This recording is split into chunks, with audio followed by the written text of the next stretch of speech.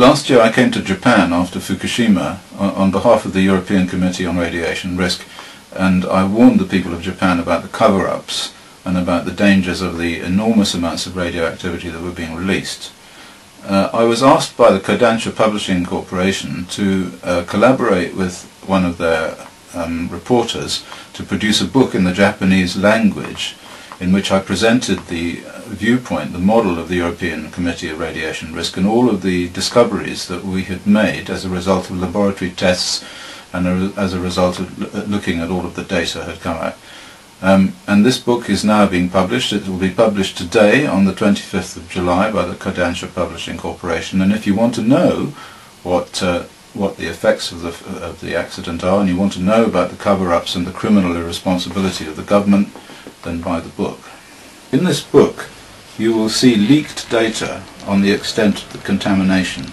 You will see data from leaked files from the United States Embassy and the Department of Energy of the United States. And these people were measuring the radionuclides and knew, right from the very beginning, the extent of the contamination. They knew that Tokyo was being contaminated because they had detectors on the roof of the US Embassy.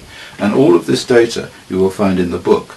You will find the effects that these uh, um, radionuclide contaminations will have on the people of Japan, and particularly those people living in Tokyo, because you will have been told falsely by your media that the people living in Tokyo were too far away from the contamination to, to, have, to, to have any health effects, but there will be cancers, heart attacks, leukemias, and general ill health, according to the model of the European Committee on Radiation Risk, the ECRR.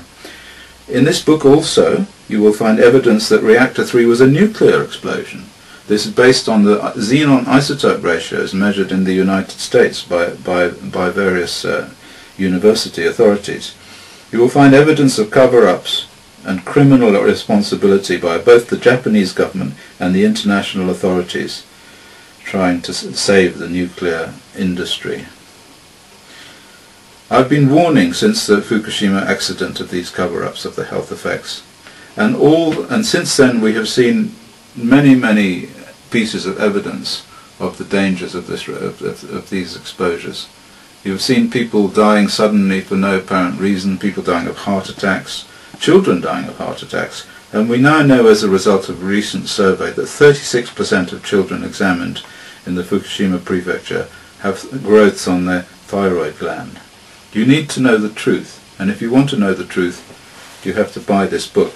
And there's one particular piece of evidence that uh, that shows the true horror of what of what happened. There was an air conditioning filter sent to the laboratories of the ECRR here to uh, by a, a lady from central Tokyo who lived on the 20th floor of a high-rise apartment. And this is an air conditioning filter from inside the building, so it doesn't take any air from the outside of the building. And the material on this filter showed 130,000 becquerels per kilogram of cesium. And it also showed the presence of uranium, uh, uh, enriched uranium and uh, lead-210, which has not been mentioned before, very, very dangerous radionuclide. So I'm going to show you how we measured the um, radio radioactivity in this filter. And you can see now the true extent of the contamination of Tokyo. Thank you for listening.